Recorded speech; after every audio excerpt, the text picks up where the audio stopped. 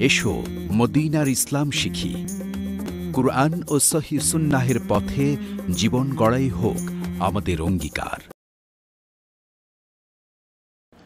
প্রিয় মুসলিম বন্ধু, কে আছেন জান্নাত চান না?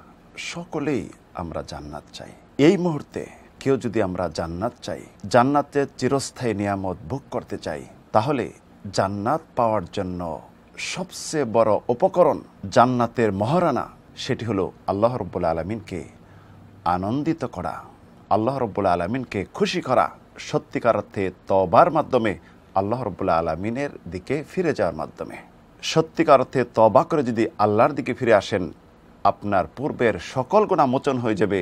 গুনার পরিবর্তে পূর্ণ সোয়াব দিয়ে আল্লাহ রব্বুল আলমিন আপনাকে পরিপূর্ণ করে দিবেন। এর প্রমাণ এক ব্যক্তি রসুল সাল্লাহ সাল্লামের কাছে আসলো, গ্রাম্য ব্যক্তি। আসার পরে বলল, হে মোহাম্মদ আমি যদি এক আল্লাহর প্রতি বিশ্বাস করি, আপনার প্রতি বিশ্বাস করি ইমান নিয়ে আসি, তাহলে আমি কি পাবো, আমার কি? রসুল সাল্লাম বললেন, তুমি যদি ইমান আনো, ইসলাম গ্রহণ করো, তাহলে তোমার জন্য জান্নাত। ওই ব্যক্তি উটে চড়া অবস্থায় ছিল।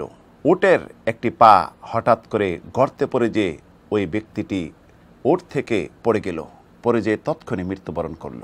রসুল সাল্লা সাল্লাম সাহাবিদের উদ্দেশ্যে বললেন, আল্লাহর কসম করে বলছি আমি দেখতেছি ফেরেস্তাগণ জান্নাতের ফল নিয়ে এসে এই ব্যক্তির মুখে বলে দিচ্ছে।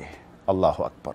তাহলে প্রিয় বন্ধু, আজ থেকে এখন থেকে ঘোষণা দেন তবা করুন, আল্লাহর দিকে ফিরে যান, তাহলে মৃত্যু হলে আপনি জান্নাতি। এর প্রমাণ, ইল্লা মান তাবা ওয়া আমানা ওয়া আমিলা সালিহান ফাউলাইকা ইউবাদদিরুল্লাহু সাইয়্যাতিহিম হাসানাত। ওকান আল্লাহ গাফুর রাহিমা। যদি কেউ তবা করল, সৎ কাজ করল ইমান আনয়ন করল তার পূর্বের গুণাগুলি আল্লাহ রব্বুল আলমিন মোচন করে দিবেন এবং সোয়াব দিয়ে পরিপূর্ণ করে দিবেন মহান রব্বুল আলমিন, দয়ালু এবং ক্ষমাশীল। আপনি যে জান্নাতে যাবেন তবা করলেই মহান রব্বুল আলমিন এরশাদ করেন, ইল্লা মান তাবা ওয়া আমানা ওয়া আমিলা সালিহান, ফাউলাইকা ইয়াদখুলুনাল জান্নাহ ওয়ালা ইউযলামুনা শাইয়্যা যদি কেউ সত্যিকার্থে তবা করল, সৎ কাজ করল, এরাই জান্নাতে প্রবেশ করবে, বিন্দুমাত্র তাদের উপর কোনো জুলুম করা হবে না। প্রিয় বন্ধু এখন থেকে, আজ থেকে এই মুহূর্তে তবা করে নেন। আল্লাহর দিকে ফিরে আসুন। এটাই হলো সবচেয়ে জান্নাতে যাওয়ার উপকরণ এবং মহারানা।